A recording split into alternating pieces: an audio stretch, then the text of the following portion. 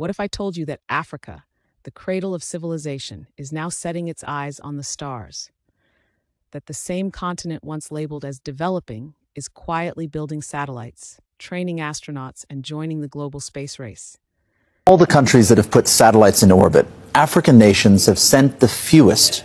The first satellite phone call between two world leaders was made in 1963. We congratulate you very heartily, Mr. President, for this very big achievement. Between U.S. President John F. Kennedy and Nigerian Prime Minister Abubakar Tafawa Balewa. Thank you, Prime Minister, and we look forward to seeing you back at the White House again someday.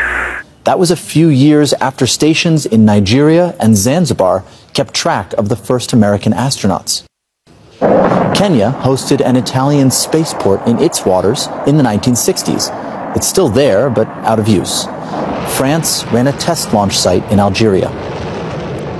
Many space programs in Africa were built with satellites purchased from abroad. These were mostly for communications, television, and internet.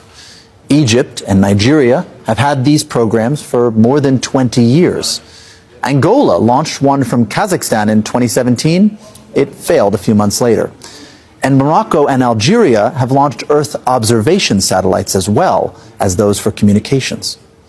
Gabon has a space program where it downloads data to manage its vast rainforest. But now that satellites are smaller and cheaper, many African countries are building them at home. South Africa put up a Cube satellite way back in 2001. Now Ghana, Kenya, Ethiopia, Tunisia, Zimbabwe, and Rwanda have their own too. One benefit is developing a new generation of space expertise at home. One of the objectives was to uh, start teaching our young ones, um, high school students, elementary school uh, students, uh, satellite technology. At least 500 students we meet every uh, every year uh, and, and and give them the the knowledge of, of, of, of satellite technology.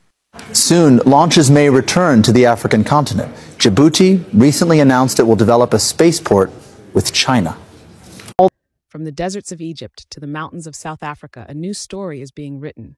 A story that might just redefine what the world thinks Africa is capable of.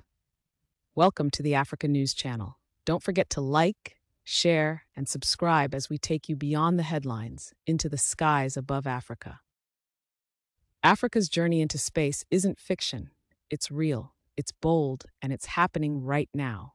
The dream of African space exploration began humbly, but today more than a dozen African nations are developing satellites and launching programs that rival global powers.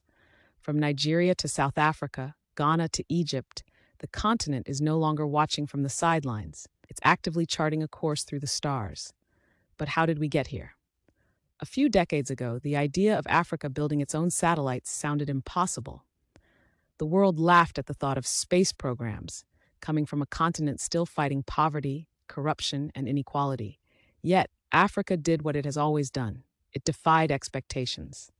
Nigeria launched its first satellite to monitor its vast terrain and aid communication. Ghana used nanosatellites to track environmental changes. Egypt and South Africa now lead in space research, with control centers, observatories, and cutting edge partnerships reaching across continents. Africa is reaching for the stars. From space exploration to groundbreaking scientific discoveries, let's highlight Africans' achievements in science and technology. The first thing I want us to talk about is Africans' first satellite. African nations like Nigeria, South Africa, and Ghana have launched their own satellites, proving that Africa is a player in space exploration. Number two, I am talking about Dr. Bernard Harris, the first African American astronaut. Do you know Dr. Bernard Harris, the first African American astronaut to walk in space, has African heritage? His success inspired a new generation of African scientists. Have you heard about the Square Kilometer Array? The world's largest radio telescope. South Africa is home to one of the largest telescope projects in the world, helping us to understand the universe like never before. COVID-19 test kits and vaccines developed in Africa. African scientists developed affordable COVID-19 test kits and vaccines proving that Africa is at the forefront of medical research. The future of science is Africa. Which of these discoveries impressed you the most? Let me know in the comment section. And as I always do, thank you so much for watching today's video. As I always say, I go by the name Jedediah, but you can call me Big Jedi. Like, share, repost, do anything you want to do with this video so that others will see and hear about the beauty of Africa. Let's promote Africa together. Peace out. And now the African Union has established the African Space Agency, headquartered in Cairo, a united effort to put Africa firmly in orbit. But beyond the science and technology, something deeper is happening. This is about reclaiming destiny, about a generation of Africans saying, We belong in every field, even the ones they told us we couldn't reach.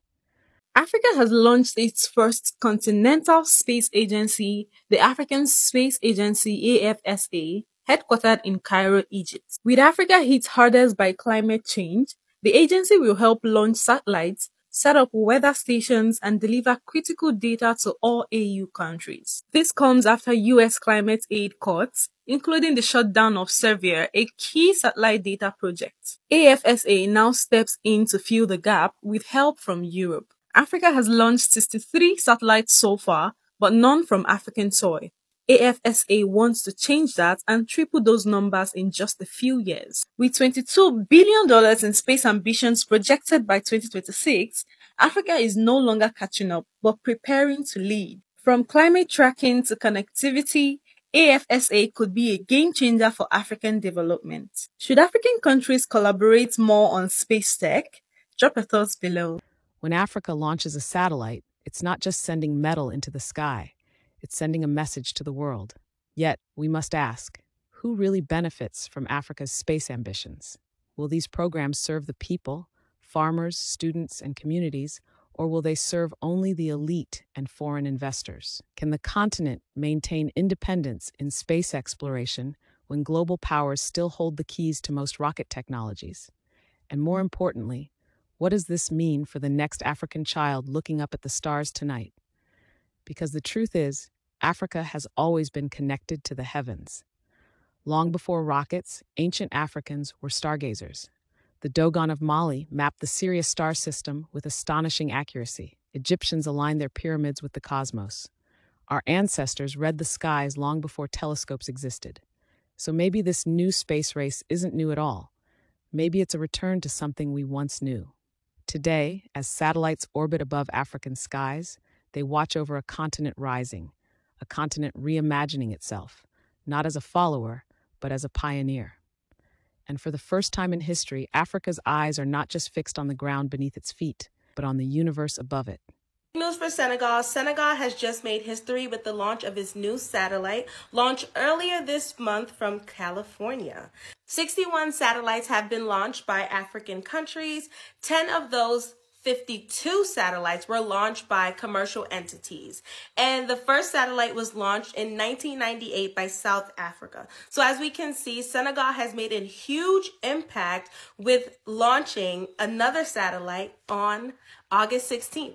This milestone is set to transform life in Senegal, enhancing communication, improving education, and boosting agricultural productivity. Sometimes we can get confused on why satellites are important to a country's development. So I really want to highlight how much satellites have been used to advance many nations. It's hard to even imagine what our world would be like without satellites because we completely depend on satellites for so many things as it relates to communication, transactions, finances, especially with our communication. Anyone traveling by land, sea, or air you depend on satellites to get there safely. All of our airplanes, what causes them to not crash in the air is due to our satellite. GPS navigation has been extremely supported by our satellites, especially for our military commands. Many people in the military use our satellites to communicate with each other, to communicate with home base, to give orders. It's just Satellites are the foundation of our ability to communicate across the world. On top of that, the stock market would crash totally. Any of our financial transactions are done through satellite. Going to the supermarket and paying for your purchases with a credit card, satellite. The stock market and making any transactions, satellite. Our finances would be totally distraught if we do not have satellites. But what's the most important part of being able to have a satellite is global security. Many countries, they are able to understand the full lay of their land through their satellites. Agriculture sector is able to thrive through satellites.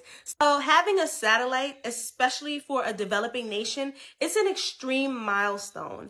And I just wish Senegal the best with this. And I'm curious to know how Senegal is going to develop moving forward with this new satellite. It's important to note that the satellite was supposed to launch in 2019 and again in 2023. However, COVID 19 and other political challenges delayed the project. However, it is here. GaindeSat is here, and I'm so excited to see its development.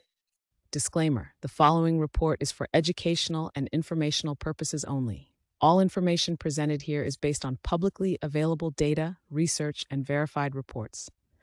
The Africa News Channel does not represent any government or political interest.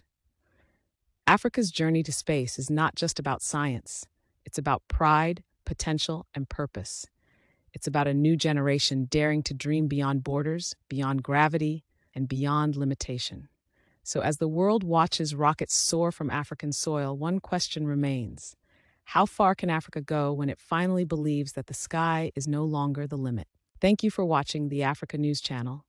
If you love what we do, please support us by sending a super thanks or becoming a channel member. It helps us bring Africa's untold stories to light.